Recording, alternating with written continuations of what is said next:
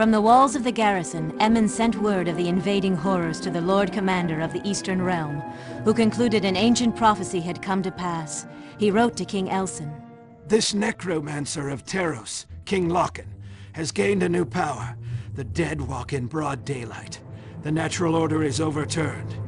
This day was foretold in the Book of Darien. Only one thing can protect us. The Heart of Thesh, a relic lost since the time of the Kandra. I have this day directed my most trusted soldier, Joreth of Heldane, to retain a squadron of hand-picked volunteers to mount a quest for the Heart of Thesh, wherever it may be in Darien.